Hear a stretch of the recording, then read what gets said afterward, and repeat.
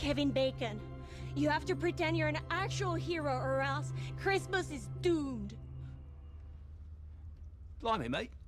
I can't wait to storm them Nazis on the beach.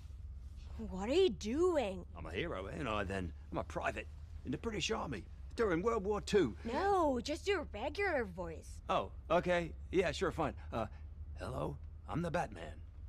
And I mean, uh, hello, I'm Bruce Wayne. Who is Bruce Wayne? Be someone else. Be Kevin Bacon, but like if you didn't suck!